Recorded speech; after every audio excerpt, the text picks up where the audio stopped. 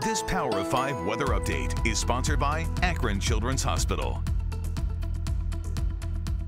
I'm Power 5 meteorologist Remeisha Shade. I hope you're having a wonderful day so far. Weather not too bad today, just a teeny tiny chance for a light rain shower, but I do want to mention that we still have a few flood warnings out there because we're still dealing with the effects from Sunday's heavy rain. So flood warning continues for the Black River around Elyria and for the Killbuck Creek near Killbuck. Still some minor flooding being reported in these spots. So certainly keep that in mind and make sure that you avoid any flooded areas out there. Otherwise, most of you stay dry today. Just a very slim shot at rain. Great day to head out to the park and get a little sunshine. I think we will have a mix of clouds and sun for today. Stray shower possible later on in the week, but no major rain in sight. And that's some good news because we could use a break. We got a lot of it on Mother's Day.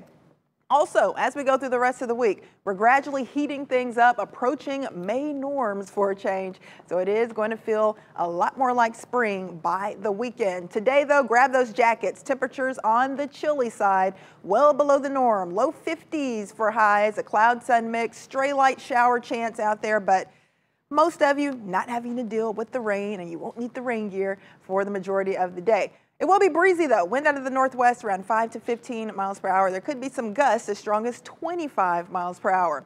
Just like this morning, late tonight, tomorrow morning, some of you may be waking up to a little frost, so keep that in mind. Protect those plants. It will be a chilly one tonight, down to 38 degrees. But we flip the script. We turn the corner towards the end of the week into early next week. We've got a lot of warm air headed our way, and I think by then we're talking about temps close to 70. So get through the next few cool days. Just a tiny chance for a sprinkle or two today. We should be sunny and dry for Wednesday.